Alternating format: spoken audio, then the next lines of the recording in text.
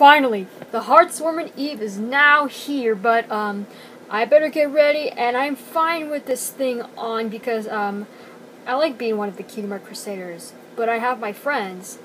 So you must be YouTube ad, huh? Yep, that's right. And who are you guys? My name's Gallus, and these are my friends Sandbar, Ocellus, and Silverstream. So good to see you guys. Oh, and um, my name's Davis. I'm YouTube ad.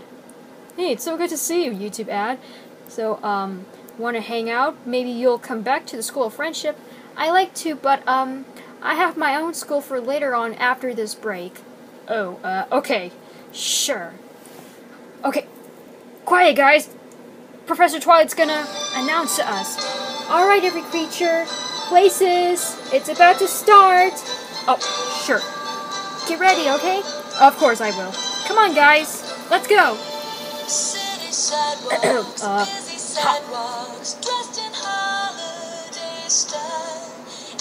Alright everyone, let's get ready. I'm totally excited to see the Hearth's Warming Eve. But to dragons, we told a story about Scales when she becomes a dragon lord. Are you talking about me? No, no, no, no, no, no, not you. The different Scales, the one I just made up, the story. Oh, yeah, I get it now. I want to see Davis's little pantsy. hey! Boys, if you dare think about it one last time, I will take you away and I will call your parents for what you did. Sure, whatever. Alright, Starlight, we won't, we promise. Wow, seems like you've got wings.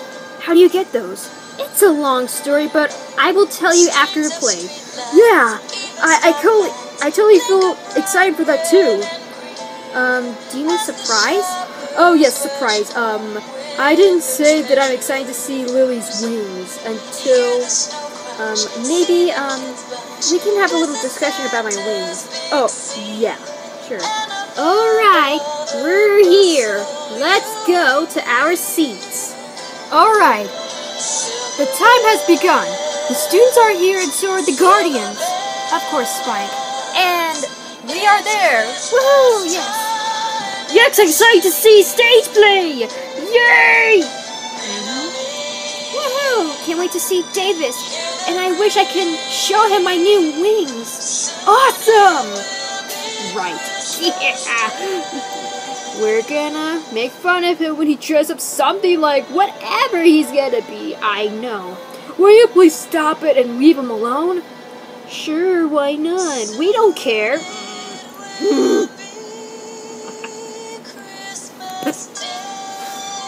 I'm gonna be very proud of Ocellus. Yeah, we'll watch Pony play. Hmm. I wonder how small it felt like.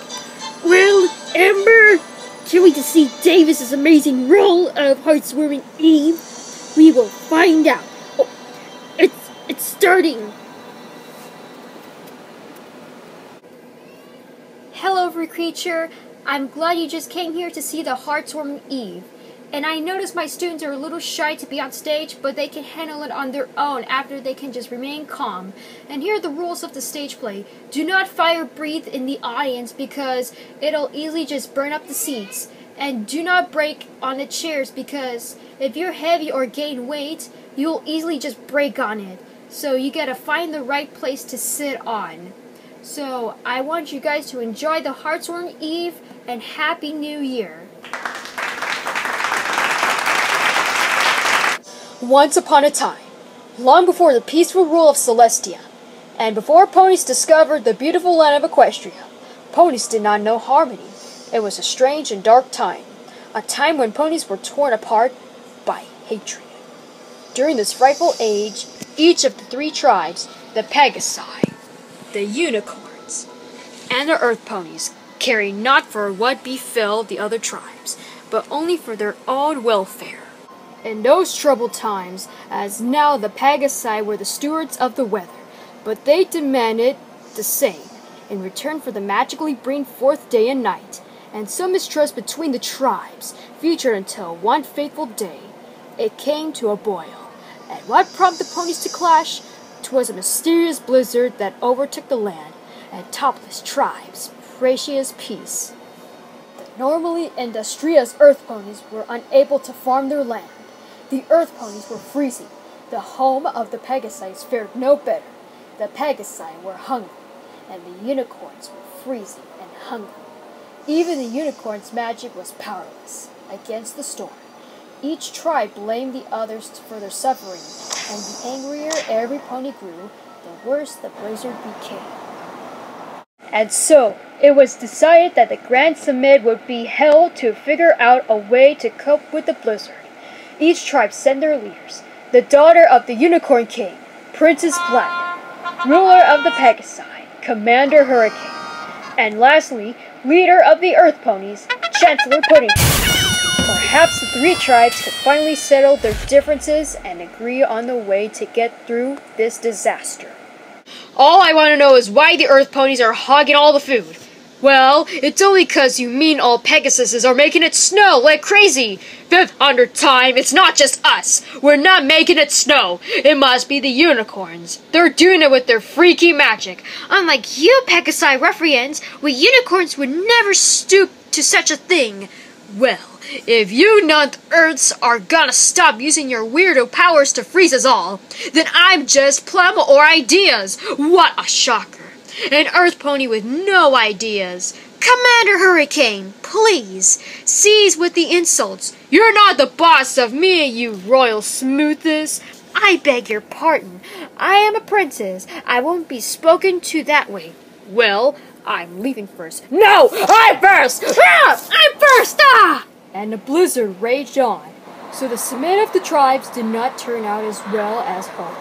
And the three leaders returned home to lick their wounds and basically complain. Attention! Aren't you curious about how it went? Oh, Commander Hurricane, how did it go, sir? Horribly. Those other tribes' leaders are so disrespectful. Don't they realize that we are the mighty tribe warriors and should not be crossed? We got to break the ranks with those weak fools. Uh, yes, sir, yes. Clover the Clever! I need you! Yes, Your Majesty! Did the other pony tribes see the reason as I predicted? Those other tribes are impossible! I, for one, can no longer bear to be anywhere near those lowly creatures. The unicorns are noble and majestic. We will no longer consort with the likes of them. Well, wouldn't it have been easier to use a door, Chancellor? Maybe for you, smart cookie, but I'm a chancellor. I was elected because I know how to think outside the box, which means I can also think inside the chimney. Can you think inside the chimney? No. I'm just about to be brilliant. That be your first. I have decided that the Earth Ponies are gonna go alone. So you mean the other tribes didn't come around? I really thought we could get through to them or we don't worry about them. We're the ones with all the food. We're all out. Then we'll have to go somewhere new where we can grow some new food. Where should we start? We must find a new land!